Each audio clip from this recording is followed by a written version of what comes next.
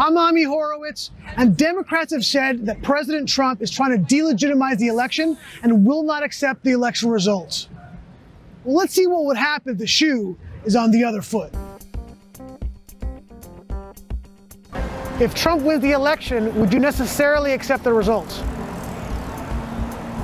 No. I hope that the country doesn't accept his.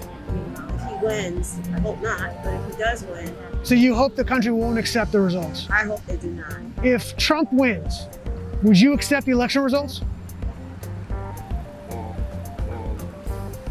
No. No, no.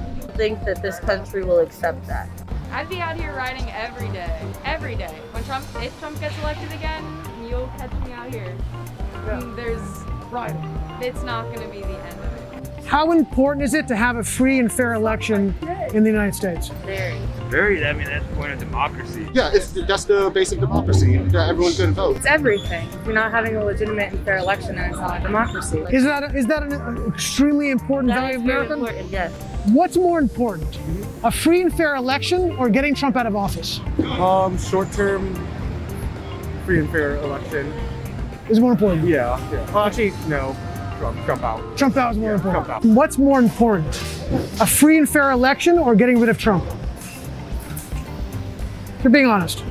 Getting rid of Trump. Getting Trump out of office. Getting Trump out of office for sure. If there is rampant voter fraud, would you accept Trump's election results? No, what? Because there's rampant voter fraud. If there's rampant voter fraud and Biden wins, would you accept the pretty election results? Yeah, I would. I don't give a f- If we're being honest, I'm being honest. If Yeah, what? so if there is rampant voter fraud and Trump wins, is that a fair election? No, no, not at all. If there's rampant voter fraud and Biden wins, would you accept that result? Um, yeah, honestly, yeah. We're being honest about Yeah, it. Yeah, honestly, being yeah. What are you gonna do the day after if Trump wins?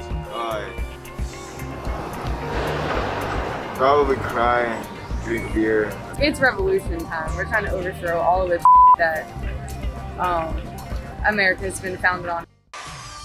It's time to play America's favorite game. For a Biden win. In order to ensure a Biden victory and a Trump loss, would you not watch movies for a year? Yeah, yeah, I would do that. For sure. Yeah, a thousand percent. Like all movies. All movies. Oh. I mean, the Star Wars. Star Wars. It's a big movie, dude. But Trump is gonna lose. I watch movies a lot, so it's kind of hard for me. But like, I But it's worth it. it's worth it, like for like our future. Black Widow is supposed to come out this summer. I know, bro. What So year? what are you gonna do? I think a year. No, one year, one year. This is the year. You know what? I already like went with that Black Widow. I can go again. You know, so I just say Trump oh, out. Oh, okay. To ensure a Biden victory, would you be celibate for an entire Biden term? Four years, a long time. Celibate for an whole term. Whole term, man. Do it for America, man. You will- I'll, I'll follow you. For You'll America. not take it for the team. Bro, I'm being for dead- America. I'm being so serious. Yeah. Yes. So, There's, there's more important things than your own self-interest. exactly. I don't know if I would have a choice in the matter. Well, that's okay. That's a different story. to ensure a Biden victory and a Trump loss, would you allow a puppy to drown? Oh, No. no. That's a life dying. and looking at the bigger picture, I guess, yeah, yeah. It's like, yeah, I would. It's just, it's sad to say, but it's a bigger picture. But then he also cost millions. But h- yeah, so what? So don't jump. You got to think about this. Okay, true. Like one. Okay, but that's like bad. Like, you think about it, one life over a million. Fine, fine. Yeah, yeah, You would. yeah. Okay.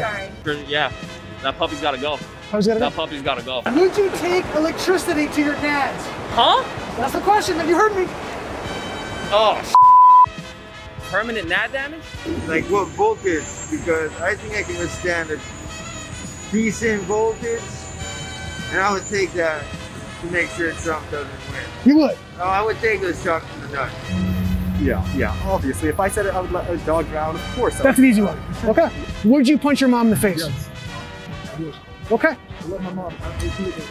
Oh, It's for the country, man. Mom. It's for the country. I love my mom. We all love our You know what? moms. She'll probably understand it. She, she doesn't want Trump in office either.